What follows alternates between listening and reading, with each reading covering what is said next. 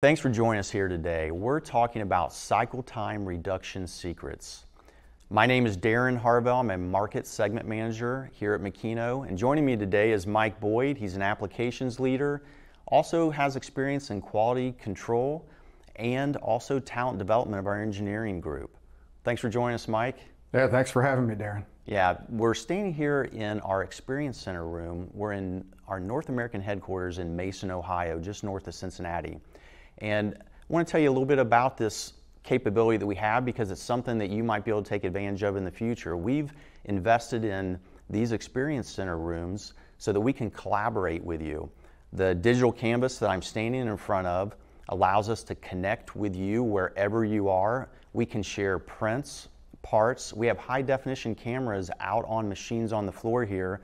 We can do a walk around. It's almost like you're standing in front of the machine yourself.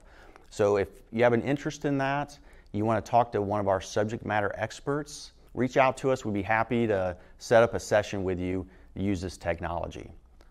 So this is the first of a series of events.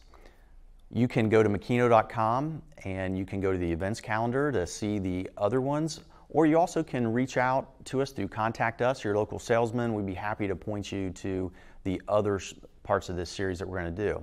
And so today, Mike, we're going to talk about the first part of this, and I know you hear from a lot of customers how important this is.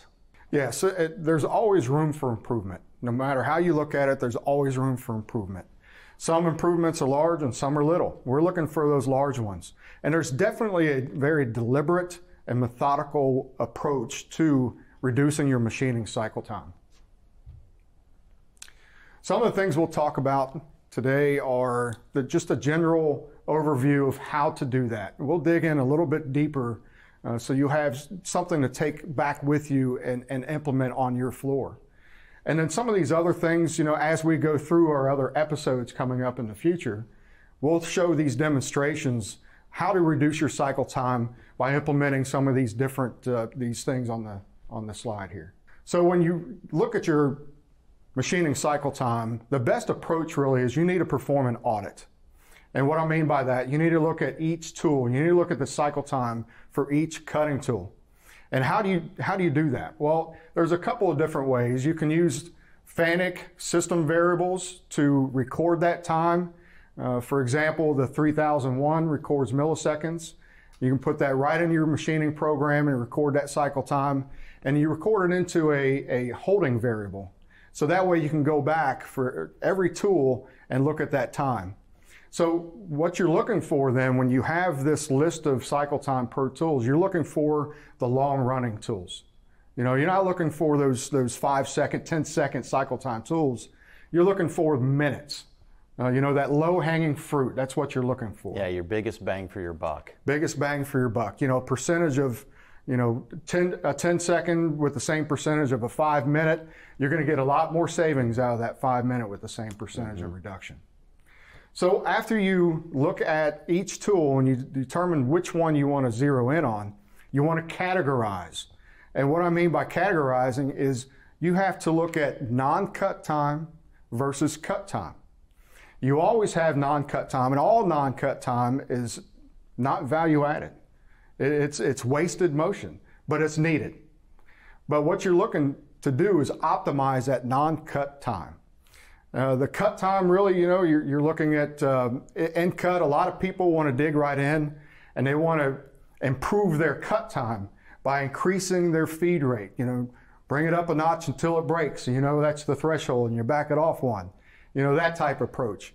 Well, we don't like to, we don't like to start with that. And there's a couple reasons why. When you further look at the non-cut time versus cut time, you look at it in terms of risk. The non-cut time, the risk is really low. It's all, for example, motion to and from the tool changer, uh, motion from each feature, uh, coolant codes, tool changes, things like that. Things that do not involve making a chip. So that's low risk. And really that's what we're going to focus on, is the low risk items. You know, Mike, one of the analogies I always like to point to is, you know, when you're cutting your grass, you want to get that grass cut as quick as possible. So you don't want to spend a lot of time going back through areas that you haven't cut and having that wasted motion. You want to make sure you're minimizing that non-cut time and just cutting grass every time you're moving that lawnmower. And I, I like that analogy. I always think about that when I hear you talk about this. Yeah, it's funny you bring that up. I've seen a lot of YouTube videos, you know, people showing how to optimize their, their grass mowing and, you know, different patterns and mm-hmm. things like that. That's exactly what we're talking about. So specifically what we're talking on the non-cut time, we're talking about optimizing your R planes. And that's the R plane is that's your rapid plane down to the feature before you actually start making chips. Uh, sometimes that R plane is, is you know, uh, millimeters away from that feature. Well, you don't need to start there. You can start a lot closer. That takes time out. Some of the other things that, you know, we've got Makino special M codes that we're going to show that take uh, the non-cut time and, and puts it kind of in a parallel process. And we'll talk a little bit about that.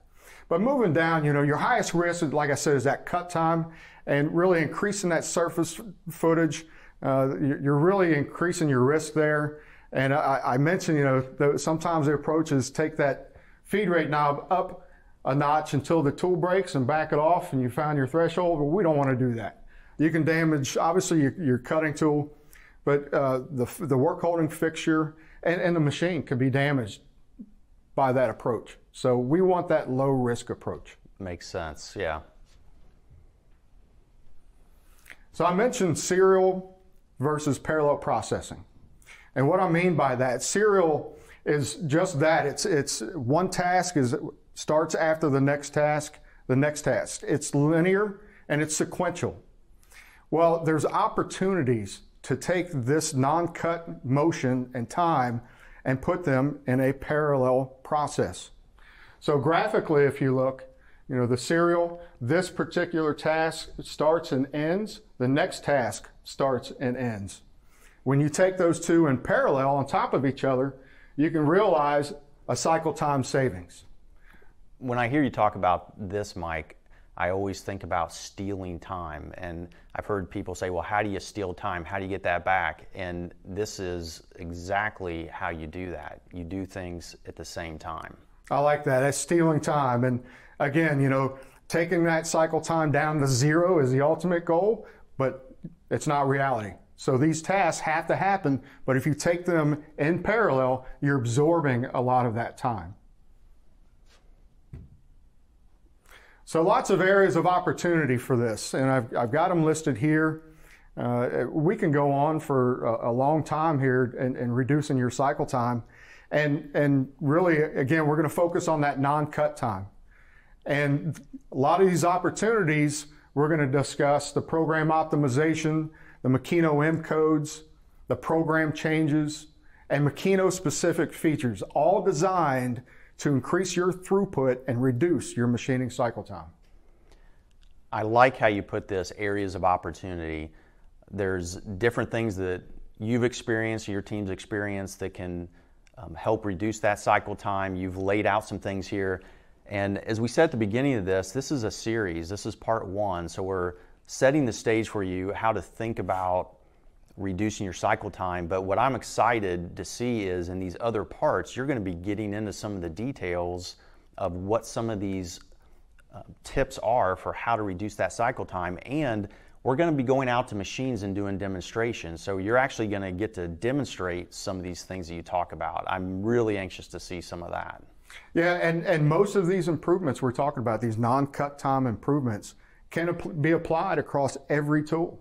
You know, you're looking at auditing that process. You're looking at the, the tools, the highest running tools, that low hanging fruit. Well, this is what I'm talking about because when you identify that non-cut opportunity to reduce that cycle time, it can be applied across all cutting tools. So there's a lot of opportunity here on non-cut time. Well, thanks, Mike, for sharing all that information. We're really looking forward to questions that continue this conversation. Remember, this is part one of a series, so you can go to makino.com, go to the events calendar, you can go to the content library. There's other ways you can find previous webinars that we've done. But today we're going to answer some of the questions. And remember, in your top right corner of your screen, there's a Q&A there. If you go down to the bottom, you type in your question, Mike and I are going to do our best to answer them, so we're looking forward to that.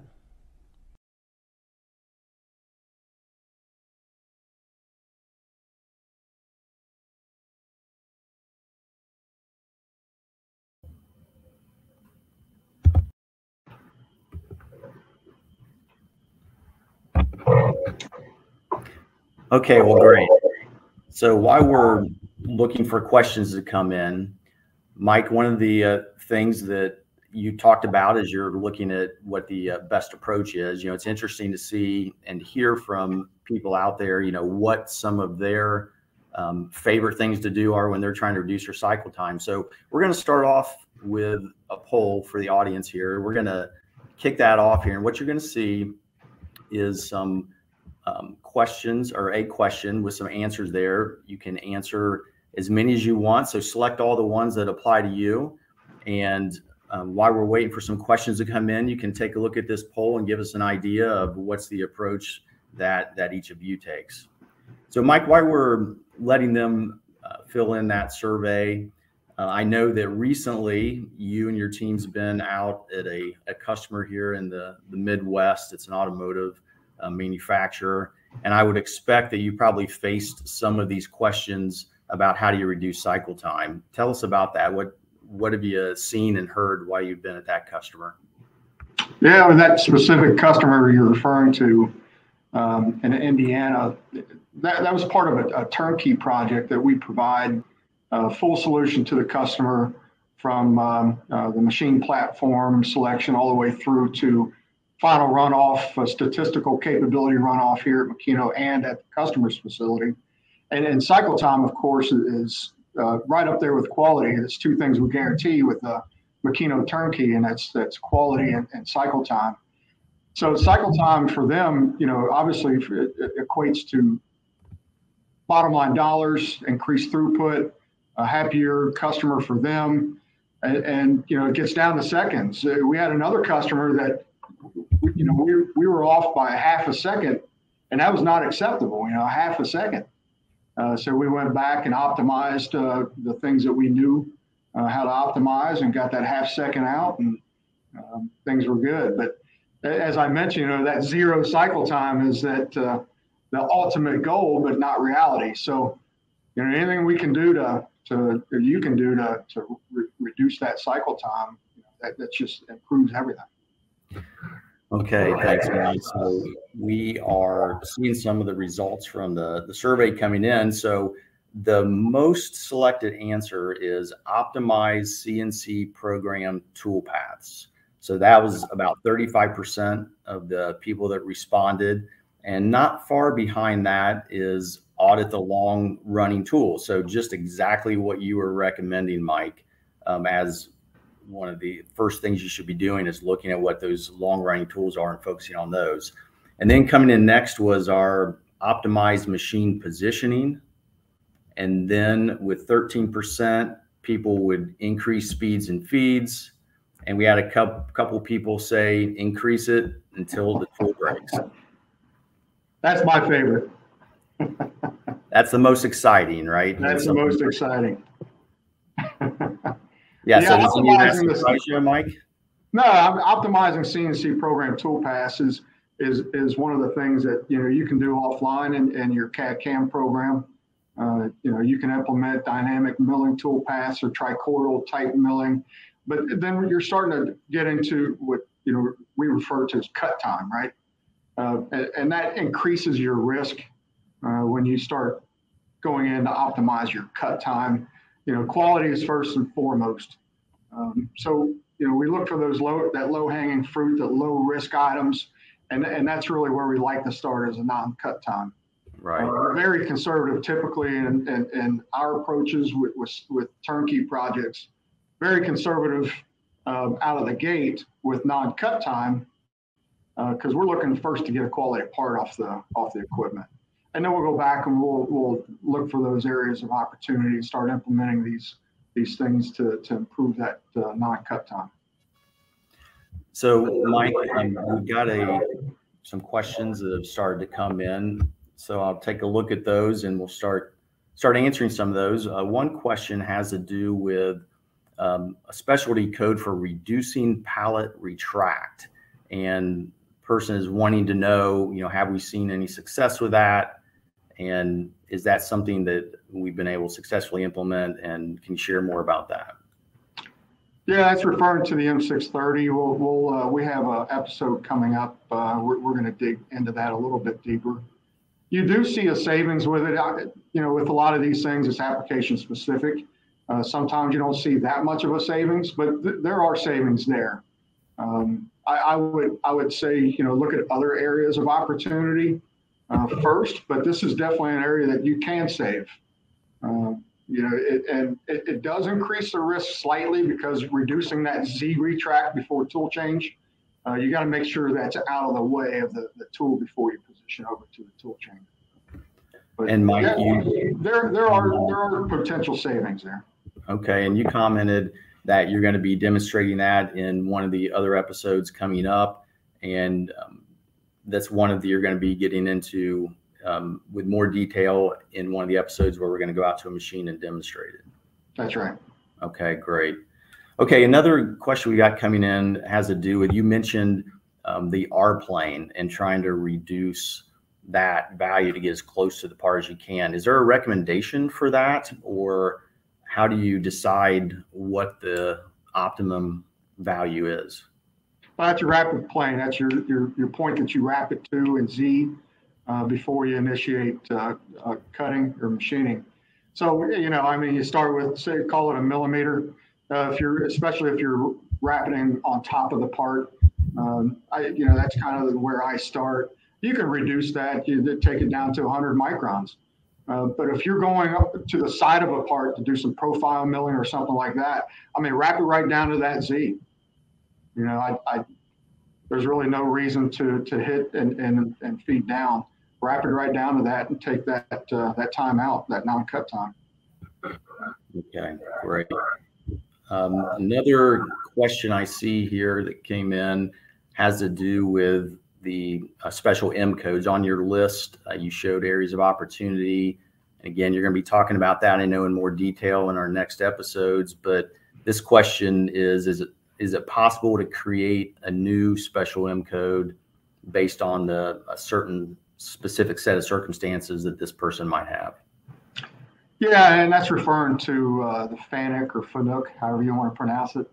Um, those functionality where you can create either an M or a G code for a macro call. Um, so it, it's basically, you know, issue define an M code that's not used, that's not a standard M code, and and create that and have it call a, macro to do whatever you want it to do inside that macro. Um, the macro calls you can pass arguments uh, on that same line. So it's basically replacing the uh, uh, G65 P whatever macro call with just an M or a G code. So yeah, you can certainly do that on the on the FANUC side. Um, that's a FANUC function. Okay. And as we said, the areas of opportunity that were on that slide. Um, question here, person wanted to know: Are we going to go into more detail? And I guess just to point that out again, that um, this is part one. We have uh, seven more episodes planned that we're going to be showing. So Mike is going to be able to go into all those different areas of opportunity he showed on that slide. And as we said, we're going to go out to a machine. We're going to go on an a51nx, and Mike, you're going to be able to actually demonstrate and show the cycle time savings by implementing some of those things. And again, initially, it's it's focusing on the non-cut time. And one other person asked about how to to handle things when they're in a bit they say they're in a busy shop they're running production they don't have time available to to get into some of these things does makino provide this as a service to come in and help with this type of thing? Yeah absolutely. We've got a full team of application engineers. You know i mentioned turnkey projects. We also have you know full integration automation product projects that, and services that, that we offer kind of cradle to, to grave if you will uh, that, that we offer as a service. But in addition to that, our application engineers can certainly uh, provide either remote support or even on-site support. we're there for, for that. Okay. And another question that came in, Mike's talking about um, or asking, do all these techniques work on all models of machines? That's a good question. What we're going to focus on is the A series horizontal uh, milling machines that we offer. Uh, so all of the A series machines have these standard uh, options uh, available on the professional six control. Um, but some of the techniques that we're going to talk about too are, are applicable to any product, uh, uh, even vertical products, you know, reducing reducing um, positioning type movements and things like that. Okay. And this question is asking about M630, wanting to know what amount uh, is the reduction in the retraction distance. So that depends on obviously your fixture, your length of tool, uh, the part that's on the fixture. You know what you, you reduce it as much as you can so before you know. You, you obviously don't, want to have a collision as you're moving to the tool changer. So uh, based on that, you know, th- then you can set your Z stroke right into, and, like Darren, you said, you know, we're going to go into more detail on this M630 in mm-hmm. a later episode, uh, but you can set that per tool. Okay. And again, what I'm understanding you to say is there isn't just one set answer for that, right? It's dependent on your application. So you want to optimize it uh, and reduce it as much as possible, but it's right. not one set answer, is what I'm hearing you say. That's right. Absolutely. Okay. okay. And you, you talked about how to, you know, since the focus is on these long running tools, and like we said in our, you know, I was happy to see in the survey that a lot of people said that's what they do. You know, they start focusing on on those long running tools. Um, you talked a little bit about how to use 3001, how to uh, record that time and to save that so you can see that. You talked a little bit about that. Can you explain a little bit more? There was a person asking for just a little bit more um, detailed explanation of how that works. Yeah, so that's a, another FANUC um, uh, feature. It's a system variable, and 3001 is is it, basically the, the time cycle time in seconds. It's it's just a timer. It's on a machine. So what you do is at the very beginning of uh, a particular tool path, uh, before the tool change, you just reset that timer. And then at the end of that, right before the next tool change, you record that time divided by a thousand because that's milliseconds.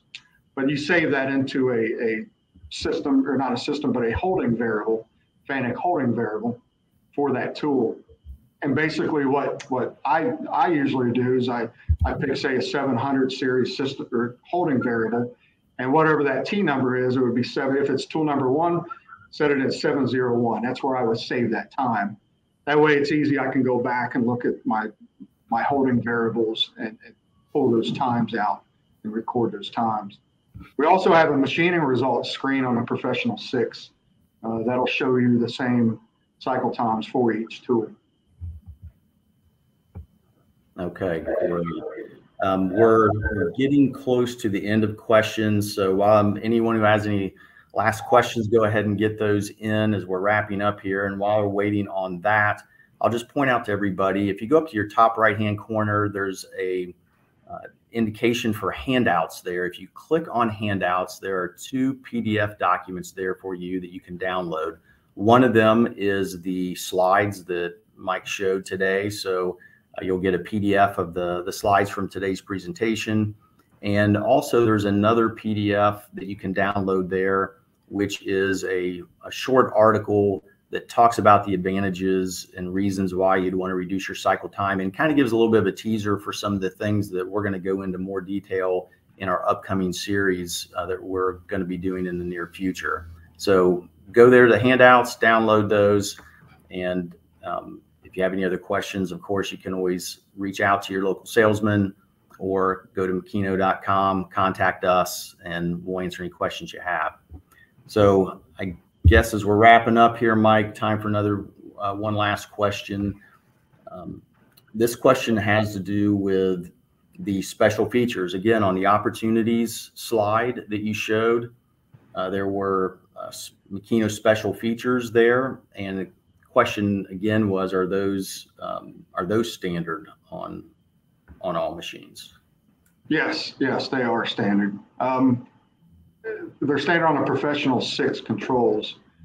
Uh, so, it, and those are referring to, um, and again, we'll have another segment coming up to dig in deeper on these, but Makino specific uh, features. They're, they're, you know, GI drilling, GI milling, IAC, inertia active control, and they, and they all center around, again, reducing that non-cut uh, time on, on, on your, uh, on your Makinos um, to improve your cycle time.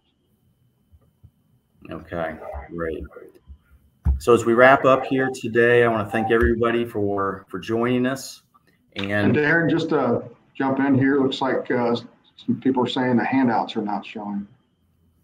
yeah, if if you have trouble uh, getting to those, just again reach out to us, and we'll make sure to to send to you uh, whatever information we're unable to to get to. And then I mentioned, Darren, we have another episode coming up, uh, possibly in about a month or so.